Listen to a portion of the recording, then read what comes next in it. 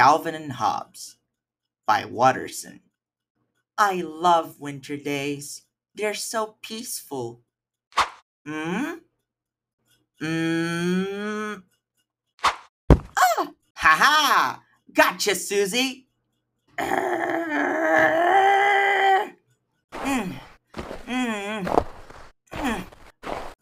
Hey, you dummy! You'll never be able to throw a snowball that big! Ha! Stupid girl! Hey, what are you doing? Get away! Hey, put me down!